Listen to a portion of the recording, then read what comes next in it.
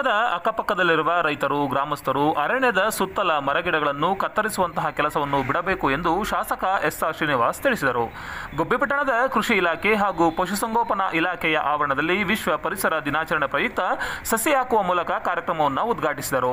ಇದೇ ಸಂದರ್ಭದಲ್ಲಿ ಮಾತನಾಡಿದ ಅವರು, ಪ್ರತಿ ವರ್ಷವೂ ಎರಡು ಅರಣ್ಯ ಇಲಾಖೆಯಿಂದ ಸುಮಾರು ನಾಲ್ಕು ಲಕ್ಷ ಸಸಿಯನ್ನು ಹಾಕಲಾಗುತ್ತಿದೆ. ಆದರೂ ಅರಣ್ಯ ಕೊರತೆಯ ಸಮಸ್ಯೆ ಮಾತ್ರ ಬಗೆಹರಿದಿಲ್ಲ.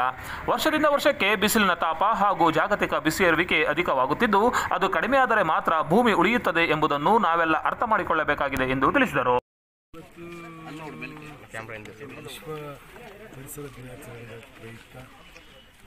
ಗಿಡ ನೆಡುವ ಕಾರ್ಯಕ್ರಮವನ್ನು ಹಮ್ಮಿಕೊಂಡಿದ್ದೀವಿ ಅದು ಪ್ರಯುಕ್ತ ನಾವು ಪ್ರತಿ ವರ್ಷವೂ ಮಾಡ್ತಲೇ ಇದ್ದೀವಿ ನಿರಂತರವಾಗಿ ನಾವು ಹೊಸ ಟೈಪ್ ಮಾಡಿ ಅಂತ ನಾನು ನಮ್ಮ ಫಾರೆಸ್ಟ್ ಆಫೀಸರ್ಗೆ ಕಾಲ್ ಮಾಡಿ ಹೇಳಿದ್ದೆ ನಾವು ನಿರಂತರವಾಗಿ ನಾನು ಇಪ್ಪತ್ತೈದು ವರ್ಷದಿಂದಲೂ ನೋಡ್ತಾ ಇದ್ದೀನಿ. ಜಿಲ್ಲಾ ಪರಿಷತ್ ಸದಸ್ಯನಾಗಿದ್ದಾಗಲಿಂದಲೂ ನೋಡ್ತಾ ಇದ್ದೀನಿ.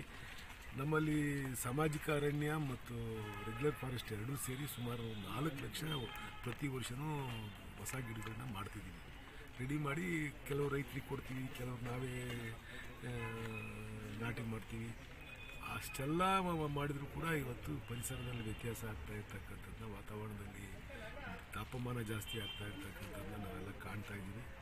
ಅದಕ್ಕೋಸ್ಕರ ಎಲ್ಲರೂ ಕೂಡ ಇದರ ಒಂದು ಮಹತ್ವವನ್ನು ಅರ್ಥಕೊಳ್ಬೇಕಾಗುತ್ತೆ ಅರ್ಥಕೊಂಡು ನಾನೇನು ಮಾಡಿದ್ದೀನಿ ಅಂದರೆ ಎಲ್ಲ ಶಾಲೆಯ ಮಕ್ಕಳಿಗೆ ಒಂದೊಂದು ಗಿಡ ಕೊಡ್ತಕ್ಕಂಥ, ಒಂದು ವಿನೂತನ ರೀತಿಯಾಗಿರ್ತಕ್ಕಂಥ ಒಂದು ಕಾರ್ಯಕ್ರಮವನ್ನು ಮಾಡಿ ಅಂತ ಇಲಾಖೆಯವರಿಗೆ ಹೇಳಿದ್ದೀನಿ. ನಮ್ಮಲ್ಲಿ ಹೆಂಗಾಗಿದೆ ಅಂದರೆ ಈಗ ಮಕ್ಕಳಿಗೆ ಕೊಟ್ಟು ಅದು ನಿಮ್ಮ ತಂದೆ ತಾಯಿ ಇದ್ದಾಗೆ ಅದನ್ನು ನೀವು ಸಾಕಿ ಪೋಷಣೆ ಮಾಡಿ ಅಂತ ಹೇಳ್ಬಿಟ್ಟು ಅವರಿಗೆ ಪ್ರೋತ್ಸಾಹ ಕೊಟ್ಟರೆ ಅವರು ಅದನ್ನು ಹೆಚ್ಚಿನ ಕಾಳಜಿ ವಹಿಸಿ ಮಕ್ಕಳು ಒಂದು ಇಂಟ್ರೆಸ್ಟಾಗಿ ಬೆಳೆಸ್ತೇವೆ ಅಂತಕ್ಕಂಥ ಒಂದು ಒಂದು ಉದ್ದೇಶ ಇಟ್ಕೊಂಡು ಆ ಒಂದು ಕಾರ್ಯಕ್ರಮವನ್ನು ಮಾಡ್ತಕ್ಕಂಥದ್ದಕ್ಕೆ ಇಲಾಖೆಗೆ ಸೂಚನೆ ಕೊಟ್ಟಿದ್ದೀವಿ ನಾವು ಕಳೆದ ಬಾರಿ ಅಂದರೆ ಈಗ ಮಾನವ ಮತ್ತು ಪರಿಸರದ ನಡುವೆ ಒಂದು ದೊಡ್ಡ ಸಂಘರ್ಷ ಶುರುವಾಗಿದೆ. ನಮ್ಮಲ್ಲೇ ಹೆಂಗಾಗಿದೆ ಅಂದರೆ ಈಗ ಇಲಾಖೆ ಜಾಗ ನಾವು ಬಗರುಕುಮಲ್ಗೆ ಕೆಲವೆಲ್ಲ ಕೊಟ್ಬಿಟ್ಟಿದ್ದೀವಿ ಬಗರುಕುಮ ಸಾಗುವಳಿದಾರರು ಮತ್ತು ನಮ್ಮ ಫಾರೆಸ್ಟ್ ಇಲಾಖೆ ಎರಡರ ಮಧ್ಯದಲ್ಲೂ ಕೂಡ ದೊಡ್ಡ ಗಂಧ ಗೊಂದಲ ಸೃಷ್ಟಿಯಾಗಿದೆ. ಈ ತಾಲೂಕಿನಾಗಲ್ಲ ಇಡೀ ಜಿಲ್ಲೆಯಲ್ಲಿ ಮತ್ತು ಇದು ಸ್ಟೇಟಲ್ಲಿ ಇರ್ತಕ್ಕಂಥ ಒಂದು ಪ್ರಾಬ್ಲಮ್. ಅದಕ್ಕೆ ಈಗ ನಾನು ಜಿಲ್ಲಾ ಉಸ್ತುವಾರಿ ಸಚಿವರಿಗೆ ಹೇಳಿದ್ದೀನಿ ಒಂದು ಮೀಟಿಂಗ್ಗೆ ಕರೆಯೋಕ್ಕೆ ಅವ್ರಿಗೂ ಕೂಡ ಹೇಳಿದ್ವಿ. ಅವ್ರು ಕರೀತಾರೆ ಅಂತಕ್ಕಂಥದ್ದನ್ನ ಹೇಳಿದ್ದಾರೆ.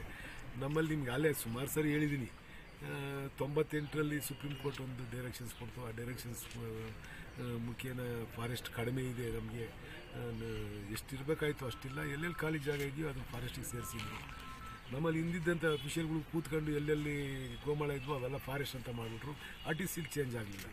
ಇದು ಒಂದು ದೊಡ್ಡ ಗೊಂದಲ ಆಗಿ ಈಗ ಫಾರೆಸ್ಟ್ ಇಲಾಖೆ ಮತ್ತು ಈ ಉಳುಮೆದಾರರ ಮಧ್ಯೆ ದೊಡ್ಡ ಗ- ಸಂಘರ್ಷ ಶುರುವಾಗಿದೆ. ಅದನ್ನು ಕೂಡ ಸರಿಪಡಿಸ್ತಕ್ಕಂಥದ್ದನ್ನ ಮಾಡಬೇಕಾಗುತ್ತೆ. ಅದ್ರ ಜೊತೆಯಲ್ಲಿ ವಿಶೇಷವಾಗಿ ನಾನು ನಿಮ್ಮ ಮುಖೇನ ಸಾರ್ವಜನಿಕರಲ್ಲಿ ಮನವಿ ಮಾಡ್ಕೊಳ್ತಕ್ಕಂಥದ್ದು. ಎಲ್ಲರೂ ಹೋಗ್ತೀರಾ? ಮೆಡಿಸಿನ್ ಸೌತೆಕಾಯಿ ಹಾಕಿದ್ರೆ ಮೆಡಿಸಿನ್ ಸೌತೆಕಾಯಿಗೆ ಎರಡು ಲೋಡು, ಮೂರು ಲೋಡು ಕಡಿದು ಬಿಡ್ತೀರಾ? ಆಮೇಲೆ ಫೋನ್ ಹಾಕ್ತೀರ ನಮಗೇನು? ನಾವೇ ವರ್ಷ ವರ್ಷ ಗಿಡ ನೆಡ್ತಿದ್ದೀವಿ, ನಮಗೆ ಫೋನ್ ಹಾಕ್ತೀರಾ? ನಮಗೆ ಫೋನ್ ಹಾಕಿ ಬಿಡಿಸ್ಲಿಲ್ಲ ಅಂತಂದರೆ, ನೋಡಪ್ಪ, ಇವನು ಬಿಡಿಸ್ಲಿಲ್ಲ ಅಂತ ಅದಕ್ಕೆ ಬೇರೆ ದೊಡ್ಡ ಇಶ್ಯೂ ಮಾಡ್ತಾರೆ ಈಗಾಗಲೇ ಎರಡು ಗಾಡಿ ನಿಂತಿರಬೇಕು. ಎರಡು ಗಾಡಿ ಹಿಡಿದು ನಿಲ್ಸೇವ್ರೆ ಅಲ್ಲಿ. ನಾನೇ ಫೋನ್ ಹಾಕಿದ್ದೀನಿ. ಆದರೆ ಹೆಂಗಾಗಿದೆ ಅಂತಂದರೆ, ಸಾರ್ವಜನಿಕರಿಗೆ ಇದರ ಮಹತ್ವ ಗೊತ್ತಾಗಬೇಕಾಗುತ್ತೆ.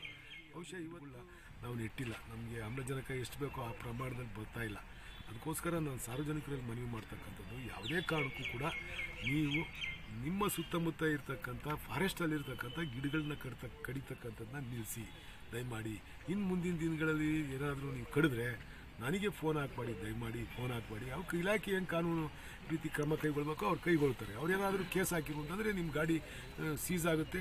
ಲೈಫ್ ಲಾಂಗ್ ನಿಮಗೆ ಗಾಡಿ ವಾಪಸ್ ಬರಲ್ಲ. ನಾವು ಒಂದ್ಸರಿ ಹೇಳಿದ್ದೀವಿ ಕಾಂಪೌಂಡ್ ಮಾಡಿಬಿಡಿ ಅಂತ ಹೇಳ್ಬಿಟ್ಟು ಈ ಮುಂದಿನ ದಿನಗಳಲ್ಲಿ ನೀವೇನಾದರೂ ಗಿಡಗಳು ಕಡಿದ್ರೆ ಫಾರೆಸ್ಟ್ಗೆ ಹೋಗ್ಬಿಟ್ಟು ನಮಗೆ ಫೋನ್ ಹಾಕ್ಬೇಡಿ. ಫೋನ್ ಹಾಕಿದ್ರು ನಾವು ಅದಕ್ಕೆ ರೆಸ್ಪಾನ್ಸ್ ಮಾಡಲ್ಲ.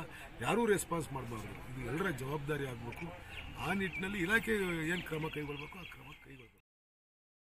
ಕಾರ್ಯಕ್ರಮದಲ್ಲಿ ತಹಶೀಲ್ದಾರ್ ಡಾಕ್ಟರ್ ಪ್ರದೀಪ್ ಕುಮಾರ್, ಪಟ್ಟಣ ಪಂಚಾಯಿತಿ ಸದಸ್ಯರಾದ ಕುಮಾರ್ ರೇಣುಕಪ್ರಸಾದ್, ಶಿವಕುಮಾರ್, ಶಿವಪ್ಪ ಕಾರ್ಯನಿರ್ವಾಹಕ ಅಧಿಕಾರಿ ನರಸಿಂಹಯ್ಯ, ಅರಣ್ಯ ವಲಯ ಅಧಿಕಾರಿ ಸಿ ರವಿ, ಸಾಮಾಜಿಕ ಅರಣ್ಯ ವಲಯ ಅಧಿಕಾರಿ ಜಿತೇಂದ್ರ, ಕೃಷಿ ಇಲಾಖೆ ನಿರ್ದೇಶಕ ಕೆಂಪಚೌಡಯ್ಯ, ಪಟ್ಟಣ ಪಂಚಾಯಿತಿ ಕಾರ್ಯನಿರ್ವಹಣಾಧಿಕಾರಿ ತೀರ್ಥಪ್ರಸಾದ್ ಸೇರಿದಂತೆ ಇನ್ನಿತರರು ಕಾರ್ಯಕ್ರಮದಲ್ಲಿ ಹಾಜರಿದ್ದರು.